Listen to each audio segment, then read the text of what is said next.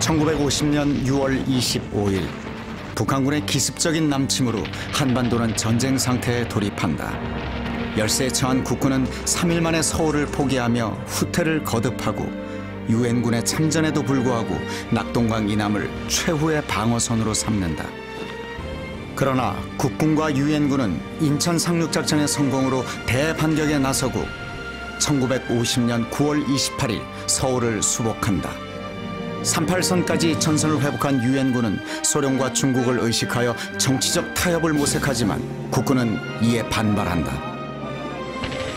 1950년 10월 1일 국군은 단독으로 38선을 돌파하여 통일을 위한 북진을 시작한다.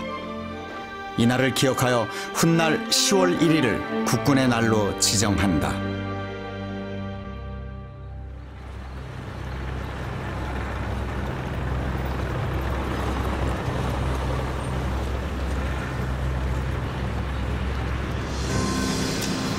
Música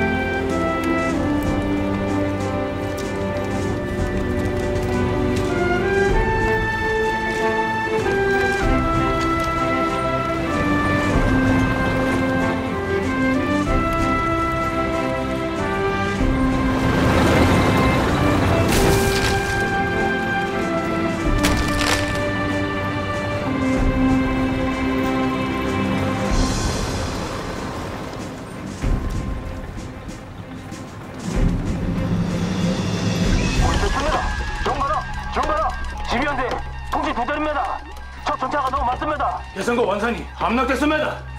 고랑포에서 38설 돌파한 적 부대가 수안까지 진출했습니다. 피안까지 도착하는 것도 시간 문제입니다. 17사단, 32사단 총집결시키라고. 여긴 공화국 수도야. 무슨 일이 있어도 사수하라. 알겠나? 예!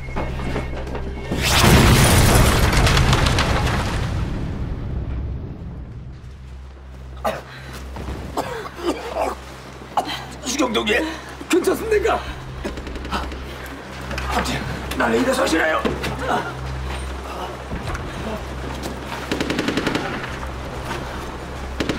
수경동이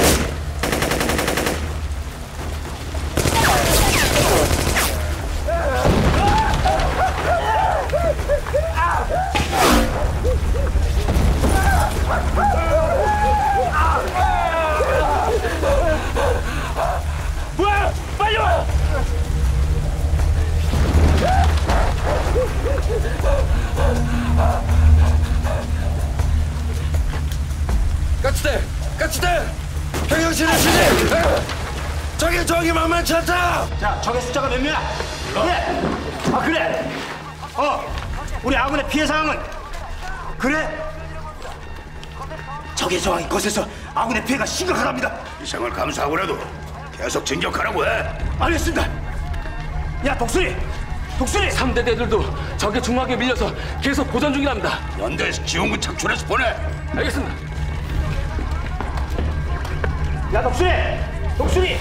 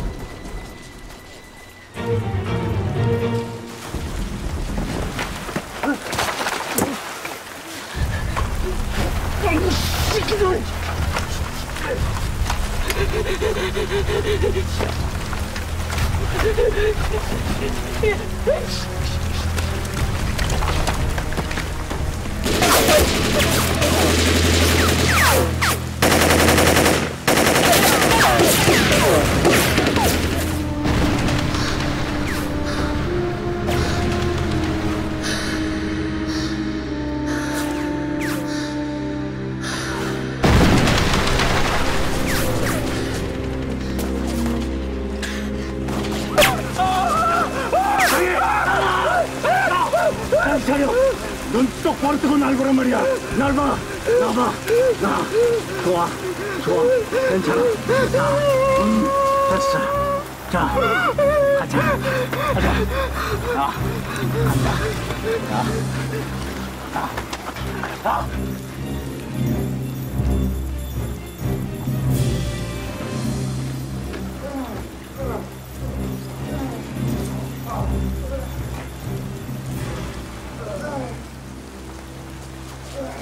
가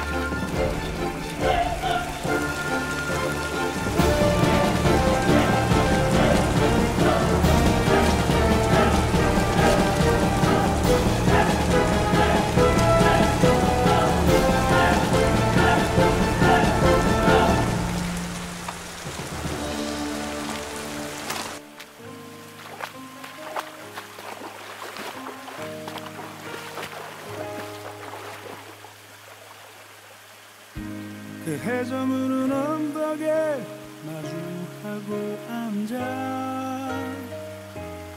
바람이 부르는 노래를 듣곤 했지. 전쟁 같은 세상 속에서